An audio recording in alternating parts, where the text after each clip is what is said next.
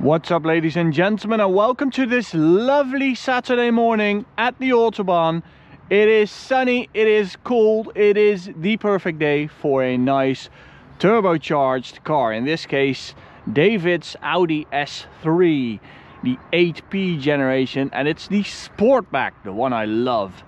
So I don't think I've ever driven an S3 8P to be honest, which is kind of weird since I've been doing performance car reviews for 15 years now. So yeah, I love the fact that I get to drive it. I did drive the RS3 many times, but I think this is a first, but I'm not sure.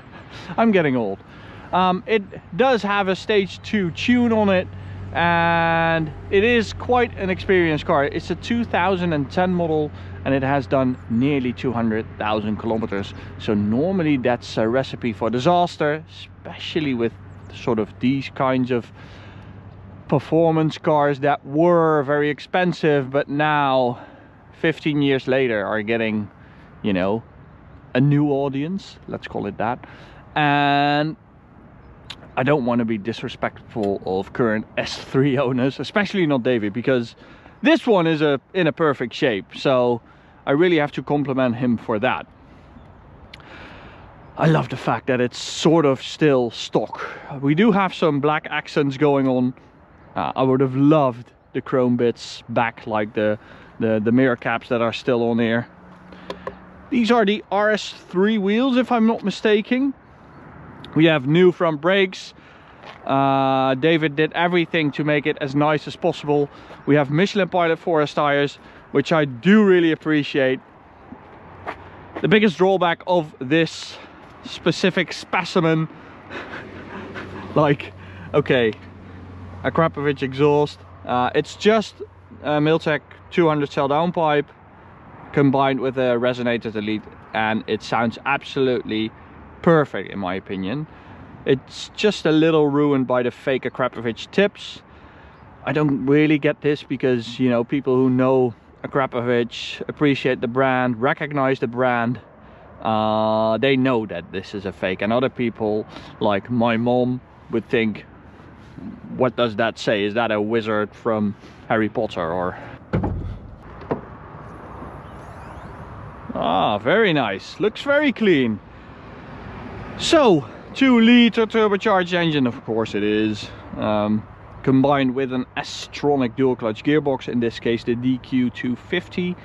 In stock form, not the nicest gearbox, but this has had JD Engineering tune for both the gearbox and the engine.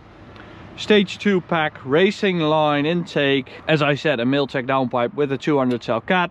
The high pressure fuel rail valve from an R8, different fuel pump, high pressure fuel pump and of course software has been done. We no longer have 265 horsepower, but 376, and no longer 350 newton meters, but 500.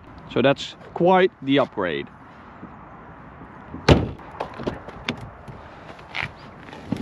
I do feel like these floor mats aren't completely OEM. I feel like the font is a bit off. Other than that, the interior looks really, really good. Really well maintained and I love these Alcantara leather seats and you know all the chrome bits it all looks really really good little MMI system right there and we have some beautiful analog dials with the classic digital display that Audi used back in the day but this is such a practical car especially being a sportback this is sort of an Audi Avant Mini and I think it's just a superb recipe. Just the two liter. We have quattro all-wheel drive. We have that dual clutch gearbox. All the space you need for a small family. I really appreciate this car, really. Like, it doesn't have a loud exhaust, which, again, I really, really appreciate you just have a little bit of an intake sound, a little bit of a turbo spool up sound. And other than that, it's sort of OEM-like, which I think is a good thing. Really nice flat bottom steering wheel, so you have a bit more leg room right here. Look at that. We don't have sport mode or comfort or individual. It's just you stick the gearbox into S, turn off the traction control, and then you're all good to go. So let's just do that, right? So stock 0 to 100 with launch control 5.6 seconds. So let me demonstrate.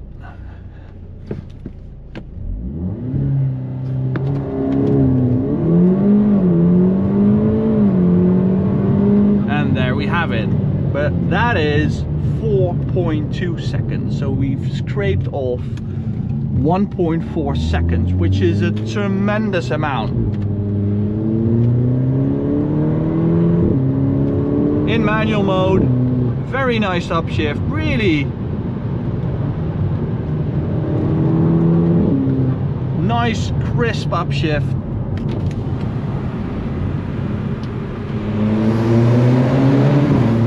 and that's just a nice exhaust note I think you know this with the resonator delete and the 200 cell downpipe absolutely perfect for this car it doesn't need to be loud. I mean, David told me like, if I'm having a a loud car, it better be a V8. I completely agree with him.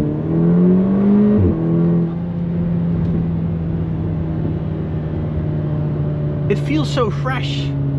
I mean, David is a mechanic, so that does explain a lot, but it's so nice. It's so nice after 190 3,000 kilometers, which we are going to get in this video.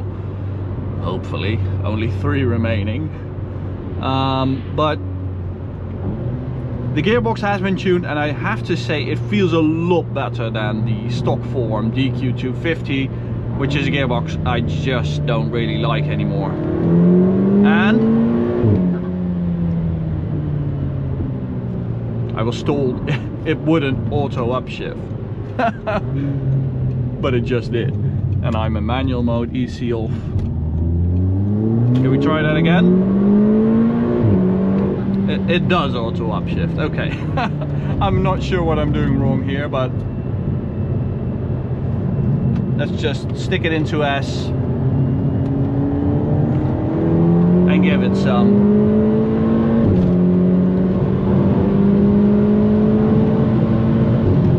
I can feel it holding back like at the end of the um,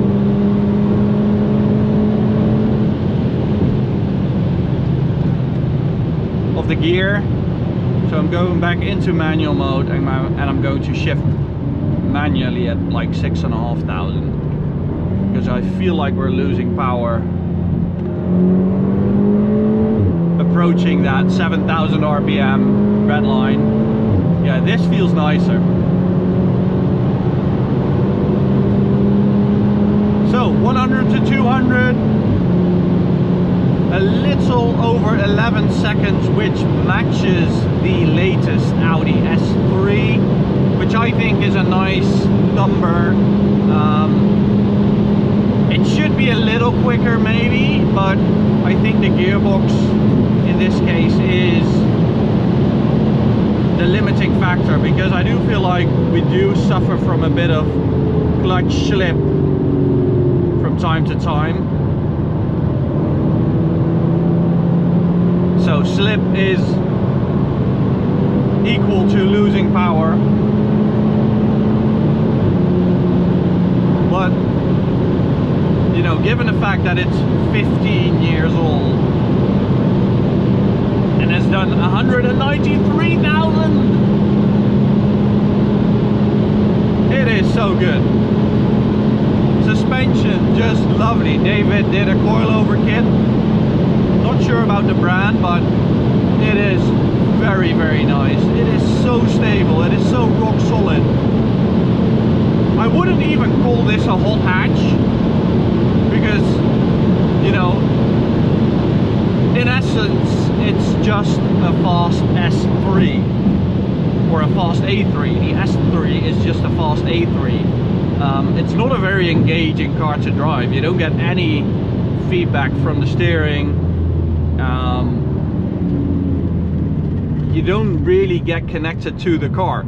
It is a very nice daily though. It's a very nice Audi little estate that has a very nice amount of power and I just love this car, really. I love it. It's a fantastic little thing. Little tunnel run for you guys to end this video.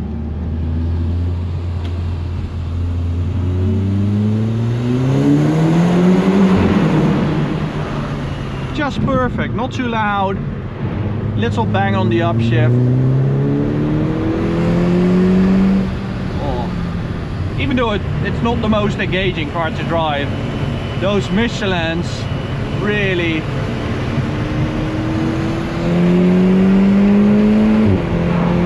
push the car to a whole new level. Loads of grip, loads of traction. What a nice car. I love this. I love this. Thanks David for bringing your car over. Thanks to you guys for watching the video. Hope you liked it and I'll see you at the next one. Bye.